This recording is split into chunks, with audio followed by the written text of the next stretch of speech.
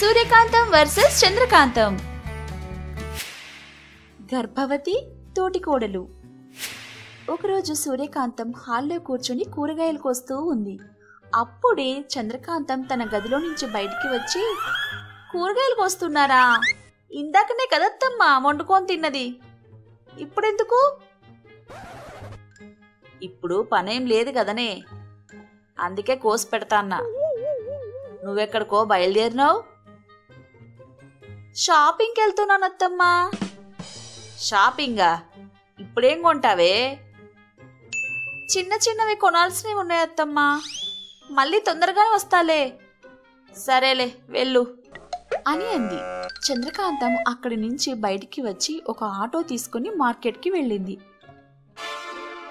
అక్కడ అన్ని రకాల షాపులు ఉన్నాయి. చంద్రకాంతం ఒక్కో షాపు చూసుకుంటూ గాజులమ్మే షాప్ దగ్గరికి వచ్చింది. హా ఈ గాజులు తీసుకుందాం అని అనుకుంటూ లోపలికి వచ్చింది. లోపల గాజులన్నీ చూస్తూ ఉండగా చంద్రకాంతం చిన్ననాటి స్నేహితురాలు సుజాత కనిపించింది. ఆమెని చూడగానే చంద్రకాంతం షాక్ అయ్యి ఆనందంతో సుజ్జీ నువ్వేంటే ఇక్కడ? ఏం చేస్తున్నావు? నీకు పెళ్ళయిందని నాకు చెప్పనే లేదు. ఎన్నో నెలే మీ వారు ఏం చేస్తూ ఉంటారు? అని అడిగింది. చంద్రకాంతాన్ని చూసి సుజాత షాక్ అయింది. కానీ ఏమీ మాట్లాడలేదు. కొంచెం భయపడుతూ క్షమించండి. మీరెవరినో చూసి ఎవరో అనుకుంటున్నారు? మీరు నాకు తెలీదు. ఆ మాటలు విని చంద్రకాంతం షాక్. తెలీదా? నేనే? చిన్నప్పుడు మనం కలిసి చదువుకున్నాగా. చంద్రకాంతాన్ని గుర్తుపట్టలేదా? సారీ అని అంటూ ఉండగా సుజాత తోటికోడలు మాధవి వచ్చి కస్టమర్స్తో సొల్లేంటి? నడువు పోదాం టైం అవుతుంది. "హా, అక్క వెళ్దాం. అని అనుకుంటూ ఇద్దరు అక్కడి నుంచి ముందుకు వెళ్తూ ఉన్నారు. సుజాత వెనక్కి తిరుగు చూస్తూ వెళ్తుంది. చంద్రకాంతం ఏమైంది దీనికి? పదో తరగతి వరకు కలిసి చదువుకున్న నన్నే గుర్తుపట్టలేదు? దీనికి ఏదో అయ్యింది. అదేందో తెలుసుకుందాం. ముందు దీన్ని ఫాలో చేద్దాం అని అనుకుంటూ సుజాత వెనకే వెళ్తుంది. సుజాత మాధవి ఇద్దరు నడుచుకుంటూ వెళ్తున్నారు. వాళ్ళ వెనకే కొంచెం దూరంలో చంద్రకాంత నడుస్తూ వస్తుంది. నత్తలా నడవకపోతే కొంచెం ఫాస్ట్గా నడవచ్చు కదా? వస్తున్నానక్కా. ఏం వస్తావో ఏమో. అవును ఇందాకేంటి? ఎవరామె? ఏం చెప్తున్నావు ఆమెకి? నేనేం చెప్పలేదక్కా. చూస్తున్నా నీ కథలన్నీ. నిన్ను ఇట్ల కాదు. ఇంటికి తీసుకెళ్ళి వాతలేస్తే గాని చక్కగా మారవు. అని తిట్టుకుంటూ తీసుకెళ్తుంది. దూరం నుంచి వాళ్ళ మాటలన్నీ విన్న చంద్రకాంతం సుజాత ఎందుకో ఆ పక్కనున్న ఆమెకే భయపడతాంది. అసలు వీళ్ళ సంగతేంటో తెలుసుకోవాలి అని అనుకుంటూ వాళ్ళ వెనకాలే వెళ్ళి సుజాత ఇంటి పక్కన ఉన్న గోడ దగ్గర నిల్చొని చూస్తూ ఉంది. అది గమనించిన సుజాత వాళ్ళ తోటి కోడలు మాధవి చూడనప్పుడు చంద్రకాంతం దగ్గరికి వచ్చి నన్ను క్షమించే. ఇందాక మా అక్క అక్కడే ఉంది. నేను ఎవరితో మాట్లాడినా ఆమెకి నచ్చదు. కొడుతుంది తిడుతుంది. ఏం మాట్లాడుతున్నావే? ఆమెకి నువ్వెందుకు భయపడాలి? ఏం చెప్పాలి నా బాధలు నీకు? అత్త లేనందుకు ఆనందపడాలా? తోటికోడల రూపంలో వచ్చినందుకు బాధపడాలా? అర్థం కావట్లేదు. అని అంటూ ఉండగా ఇంట్లో నుంచి మాధవి గొంతు వినపడింది. ఒసై ముద్ర శబ్దానా ఎక్కడ తగలడ్డావే? కాఫీ పట్టుకరా. ఆమె మాట వినగానే సుజాత నువ్వు వెళ్ళే. ఆమె లేనప్పుడు నేను నీకు ఫోన్ చేస్తాను. వెళ్ళు అని చెప్పి గబగబా ఇంట్లోకి పరిగెత్తింది. ఆమె వెళ్ళగానే చంద్రకాంతం కూడా తన ఇంటికి వచ్చింది. ఏందే ఇంత లేట్ అయింది? అదత్తమ్మా అని మొదలుపెట్టి జరిగిందంతా చెప్పింది. అంతా విన్న సూర్యకాంతం పాపం అది ఇన్ని కష్టాలు పడుతుందా? అవునత్తమ్మా. అని అంటూ ఉండగానే ఆమె ఫోన్ రింగ్ అయింది. అదే ఫోన్ చేసిందత్తమ్మా?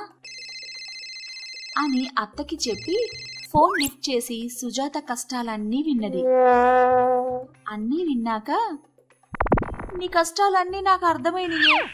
నేను చెప్పినట్లు చేస్తా అంటే నీ కష్టాల నుంచి నిన్ను బయటపడేస్తా. ఏం చెయ్యాలి? చెప్తాను. కాసేపు ఆగాక ఫోన్ చెయ్యి. అని చెప్పి ఫోన్ పెట్టేసి అత్తతో విన్నారు కదత్తమ్మా తనని ఆ కష్టాల నుంచి మీరే బయటపడేయాలి. అది కడుపుతో ఉందత్తమ్మా అయినా కూడా కనికరం లేకుండా తోటి కోడలు హింసిస్తా ఉంది. దాని బాధ చూస్తుంటే నాకే కన్నీళ్ళు వస్తున్నాయి అత్తమ్మా. ఏదో ఒకటి చేయండి అత్తమ్మా ప్లీజ్. ఇన్నాళ్ళకు నువ్వు ఒక మంచి పని చేయడానికి సాయం అడుగుతున్నావు చూడు. ఖచ్చితంగా చేస్తనే. దాని కష్టాలన్నీ తీరుద్దాం. నీ స్నేహితురాలి మీదికి చెయ్యి ఎత్తాలంటేనే భయపడాలి. అట్లా చేద్దాం ఆమెని. నువ్వేం బాధపడకు. నేను నీకు ఒక జిని బొమ్మ ఇస్తాను. అది తీసుకొని పోయి నీ ఫ్రెండ్కి ఇవ్వు ఎప్పుడు ఆ బొమ్మ తన దగ్గరే ఉంచుకోమని చెప్పు. చాలు తన కష్టాలన్నీ తీరిపోతాయి. అవునా? చాలా థ్యాంక్స్ అత్తమ్మా. అదేదో ఇవ్వండి. ఇచ్చేసి వస్తాను అని అంది సూర్యకాంతం ఇంట్లోకి వెళ్ళి ఒక చిన్న జిని బొమ్మ తీసుకుని వచ్చి ఇచ్చింది. చంద్రకాంతం అది తీసుకుని వెళ్ళి సుజాతకి ఇచ్చింది. సూర్యకాంతం చెప్పిన మాటలన్నీ సుజాతకి చెప్పింది. అలాగేనే ఇది ఎప్పుడు నా దగ్గరే ఉంచుకుంటాను అని చెప్పి వెళ్ళిపోయింది. ఆ రోజు నుంచి ఆ జిని బొమ్మని ఎప్పుడు తన కొంగులోనే కట్టుకొని ఉండేది. అలా ఒకరోజు మాధవి ఓసే తిండిపోద్దానా? నువ్వు తాగడమేనా? నాకు టీ ఇచ్చేదుందా? అయ్యో తెస్తున్నానక్క ఉండండి. అని చెప్పి గబగబా టీ పెట్టుకొని మాధవి దగ్గరికి వచ్చి ఇదిగోండక్క టీ. మాధవి ఆ టీ తీసుకొని ఒకసారి తాగి ఉమ్మేసి ఇందులో షుగర్ ఎంతేసినవే? దీనికి ఎట్లాగో షుగర్ ఉంది ఎక్కువ షుగర్ వేస్తే తాగి తొందరగా చస్తుంది అనుకుంటున్నావా అని ఆ టీ సుజాత మొహం మీదికి విసిరింది. కప్పులో నుంచి బయటికి వచ్చిన టీ సుజాత మొహం మీద పడుతూ పూలలాగా మారిపోయాయి. అది చూసి మాధవి సుజాత ఇద్దరు షాక్. ఏంటే టీ పోస్తే పూలు పడ్డాయి? ఏమో అక్క నాకు తెలీదు. ఏవో మంత్రాలు మాయలు నేర్చుకొచ్చినట్లున్నావు? నీ మంత్రాలకు నేనేం భయపడను. అని చెప్పి మూలనున్న ఒక కర్ర తీసుకొని సుజాతని కొట్టబోయింది. ఆమె కర్ర ఎత్తడంతోనే ఆ కర్ర కాస్త పాములా మారిపోయింది. అది చూసి మాధవి షాక్ అయి అమ్మో పామే! పాము! పాము కాపాడండి! కాపాడండి! అని అరుస్తూ అది కింద పడేసింది. మాధవి కోపంగా ఏంటే? ఏం చేశావే?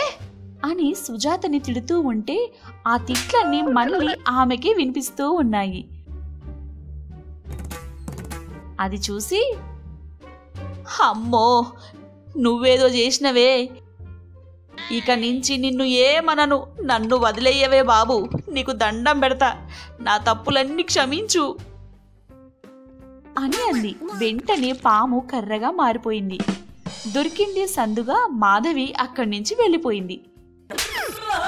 అలా చంద్రకాంతం అత్త సాయంతో సుజాత కష్టాన్ని తీర్చింది. ఆ రోజు నుంచి మాధవి సుజాతని ఏమీ అనలేదు. అన్ని పనులు తానే చేసేది. సుజాత హ్యాపీగా ఉంటాం తన ఫ్రెండ్ సుజాతని తీసుకొని అడవిలోకి వెళ్తూ ఉంది. ఏమే చందు? సర్ప్రైజ్ అని చెప్పి అడవిలోకి తీసుకొని పోతానవేందే? నాకు మస్తు భయమేస్తాంది ఇదంతా చూస్తుంటే. అసలు ఏడికి తీసుకొస్తున్నావే? అరే నీకన్నీ తొందరేనే. జర్రంతసేపు ఆగు నీకే తెలుస్తుంది. అని చెప్పి అడవి లోపలికి వెళ్తూ ఉంది. అక్కడ శబ్దాలు విని సుజాత భయంతో వణుకుతూ చందు ఏందే ఇంకెంత లోపలికి తీసుకుపోతావే? అసలు ఏందేగా సర్ప్రైజు? నువ్వు చెప్పకపోతే నేను ఒక్క ఇంచు కూడా కదలా. అరే ఏం లేదే. మన ఊర్లో రామాలయం గుడి వెనకాలన్న స్వామీజీ ఇక్కడ ఒక రహస్య నిధి ఉందని చెప్పిండే. అందుకే వచ్చినాం.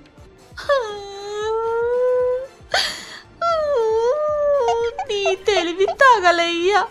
వాడు స్వామీజీ కాదే పిచ్చోడే. వాడి మాటలు విని నన్ను ఇంత దట్టమైన అడవిలోకి తీసుకొచ్చినవే? నీకేమైందే? నన్ను ఇట్లా పగబట్టినావు.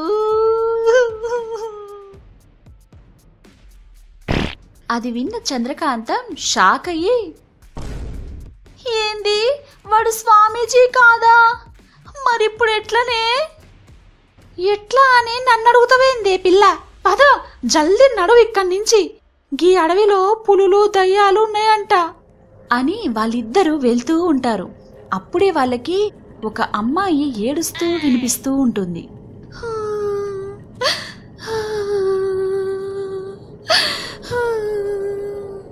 అది విన్న చంద్రకాంతం సుజ్జి ఎవరో ఏడుస్తున్నట్టున్నారే అని అనగా అప్పుడు సుజాత ఇలా అంటుంది.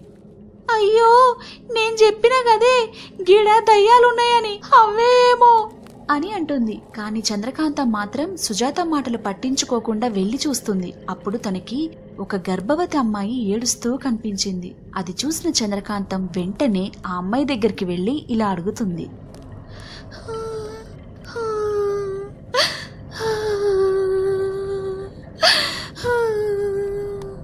ఎవరు నువ్వు? ఇక్కడ ఏం చేస్తున్నావు? ఎందుకు ఏడుస్తున్నావు? అని అడుగుతుంది. దానికి నా పేరు సీతమ్మ నా భర్త అత్త నన్ను ఇక్కడ వదిలేసి వెళ్ళిపోయారు అని ఏడుస్తూ చెప్తుంది. అది విన్న చంద్రకాంతం షాక్ అవుతుంది. పక్కనే ఉన్న సుజాత ఇలా అంటుంది. వాళ్ళకేమైనా పిచ్చా? నిండు గర్భిణివి? నిన్ను అట్లెట్లా వదిలేసింట అడవిలో? మొన్న స్కానింగ్ చేస్తే కడుపులో పెరుగుతుంది ఆడపిల్ల అని తెలిసిందమ్మా. మా ఆయనకి అత్తగారికి ఆడపిల్ల అంటే ఇష్టం లేదు.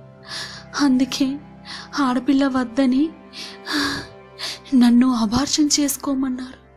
దానికి నేను ఒప్పుకోకపోయేసరికి చివరికి నన్ను ఇట్లా నీ చావు నువ్వు చావు అని ఇలా ఒంటరిగా అడవిలో వదిలేసి వెళ్ళిపోయారు. అరే అసలు వాళ్ళు మనుషులేనా? పాపం సీతక్క. ఇట్లా కాదు చందు వాళ్ళకి బుద్ధి చెప్పాలే. అక్క బాధ చూడలేకపోతన్నా. వద్దమ్మా వద్దు. వాళ్ళ జోలికి అస్సలు వెళ్ళొద్దు. వాళ్ళు మంచోళ్ళు కాదు. మిమ్మల్ని ఏమైనా చేసేస్తారు. నువ్వు ఊకో అక్క. మా అక్కకి ఇంత అన్యాయం జరుగుతుంటే నేను వాళ్ళని వదిలేస్తానా ఏంది? వాళ్ళు మంచోళ్ళు కాదేమో. కానీ ఇక్కడ Chandu Chandrakantham daughter in law of Suryakantham. అని అంటుంది. తన బ్యాగ్లో నుండి మ్యాజిక్ ల్యాంప్ తీసి జిన్నీని బయటికి పిలిచి జరిగిందంతా చంద్రకాంతం జిన్నీకి చెప్తుంది. అది విన్న జిన్నీ ఇలా అంటాడు. మీరింకా మొత్తం మర్చిపోయి మా చందక్క ఇంట్లో పండుకోండమ్మా. సాయంత్రంలోగా మీ భర్తే వచ్చి నిన్ను ఇంటికి మోసుకొని తీసుకెళ్తాడమ్మా. అని చెప్తాడు. అది విన్న సీత ఎంతో ఆనందిస్తుంది. జిని తన మ్యాజిక్తో అందరినీ చంద్రకాంతం ఇంటికి తీసుకొని వెళ్తాడు. జిన్ని సీతను బెడ్ పైన పడుకోబెట్టి చంద్రకాంతంకి ఒక బాక్స్ ఇచ్చి ఇలా అంటాడు. అక్క మీరు ఇక్కడే ఉండండి. నేను వెళ్ళి వాళ్ళ సంగతి చూస్తాను. అక్కడ ఏం జరుగుతుందో మీరు ఇక్కడ ఈ మ్యాజిక్ బాక్స్లో నుంచి చూడొచ్చు. అని వెంటనే సీత వాళ్ళ ఇంటికి వెళ్తాడు. అక్కడ సీత భర్త మరియు అత్తమ్మ ఇద్దరూ కలిసి స్నాక్స్ తింటూ టీవీ ఎంజాయ్ చేస్తూ ఉంటారు. అప్పుడు ఆ జిని మెల్లిగా ఆ టీవీలో దూడతాడు దాంతో టీవీలో వచ్చే ప్రోగ్రాం ఆగిపోతుంది. అది చూసి ఇద్దరు షాక్ అవుతారు. భూమి అదరడం మొదలవుతుంది. అది చూసి ఇద్దరు భయంతో వణుకుతూ ఉంటారు. అప్పుడు ఆ టీవీలో నుంచి జిని ఇలా అంటూ ఉంటాడు. అనగనగా ఒక ఊరిలో సీత అనే అమ్మాయి ఉంది. ఆమె గర్భవతి. తన కడుపులో ఉన్నది ఆడపిల్ల అని తెలిసి అబార్షన్ చేసుకోమన్నారు తన భర్త మరియు అత్త. కాని దానికి ఆమె ఒప్పుకోకపోయేసరికి ఆమెను నిర్దాక్షణ్యంగా దట్టమైన అడవిలో వదిలేసి వచ్చేశారు. జాలి దయా లేని అలాంటి మనుషుల్ని ఏం చేయాలి? చంపేయాలి. అని గట్టిగా నవ్వుతాడు. విన్న ఇద్దరు? అమ్మా వీడు మన గురించి అంటున్నాడే. అవునురా పద పారిపోదాం. అని పరిగెత్తడం మొదలు పెడతారు. అలా పరిగెడుతూ పరిగెడుతూ కాళ్ళు స్లిప్ అయ్యి ఇద్దరు రెండు వేర్వేరు గుంటల్లో పడిపోతారు. వాళ్ళిద్దరి పైన మట్టి పడుతూ ఉంటుంది. అప్పుడు జిని వాళ్ళతో ఇలా అంటాడు. మీ గోతిలో మీరే పడ్డారు. గీ మట్టి వేసి మిమ్మల్ని ఇక్కడే సజీవ సమాధి చేస్తాను. అని మట్టి వేస్తూ ఉంటాడు. వాళ్ళు బయటికి రావడానికి ఎంతో ట్రై చేస్తూ ఉంటారు. అప్పుడు ఇద్దరికి చెరో ఒక తాడు దొరుకుతుంది. ఆ తాడు పట్టుకొని బయటికి వస్తారు. వాళ్ళు బయటికి వచ్చి చూస్తే వాళ్ళ చేతిలో ఉన్నది ఉరితాడు అని వాళ్ళకి అర్థమవుతుంది. అది చూసి వాళ్ళు గజగజా వణుకుతూ ఉంటారు. అప్పుడు జీని వాళ్ళతో ఇలా అంటాడు. ఆడపిల్లని కడుపులోనే చంపేద్దామని అనుకున్న వాళ్ళందరినీ ఉరి తీసి చంపేయాలి. గది మీతోనే మొదలు పెడతాం. అని తన మ్యాజిక్తో వాళ్ళిద్దరిని గాల్లోకి లేపుతాడు. దాంతో వాళ్ళిద్దరూ భయపడిపోయి ఇలా అంటారు. అయ్యా అయ్యా మమ్మల్ని క్షమించండి. ఇంకెప్పుడు గిట్ల చేయము. నా కోడల్ని నా మనవరాల్ని మంచిగా చూసుకుంటాను. మమ్మల్ని వదిలేయండి మహాప్రభు. అయ్యా నాకు బుద్ధొచ్చిందయ్యా. నన్ను క్షమించండి. ఇంకెప్పుడు నా భార్యని కష్టపెట్టను. తనని కంటికి రెప్పలా చూసుకుంటాను. ఇప్పుడే అడవికి వెళ్ళి నా భార్యని నేను తెచ్చుకుంటానయ్యా. నన్ను క్షమించండి. ఇంకొకసారి ఆ మహాతల్లికి కష్టం వచ్చిందని తెలిస్తే మిమ్మల్ని వదిలేది లేదు. భూలోకంలో నరకం చూపిస్తా. అర్థమైందా? అని అంటాడు. అప్పుడు వాళ్ళిద్దరూ భయపడుతూ అవును అని తల ఊపుతూ చెప్తారు. అప్పుడు జిని సీత భర్తతో ఇలా చెప్తాడు. నువ్వు వెళ్ళి సీతక్కని ఇంటికి తీసుకొని రాపో తాను అడవిలో లేదు. మా అక్క చంద్రకాంతం ఇంట్లో ఉంది. జాగ్రత్తగా తీసుకొని రా. అని అంటాడు. అది విన్న సీత భర్త వెంటనే పరిగెడుతూ చంద్రకాంతం ఇంటికి వెళ్తాడు. అక్కడ తన భార్యని తన చేతులతో మోస్తూ తన ఇంటికి తీసుకొని వస్తాడు. అది చూసిన సీత ఎంతో హ్యాపీగా ఫీల్ అవుతుంది. సీత హ్యాపీగా ఉండడం చూసి చంద్రకాంతం జిని సుజాత ముగ్గురు హ్యాపీగా ఫీల్ అవుతారు.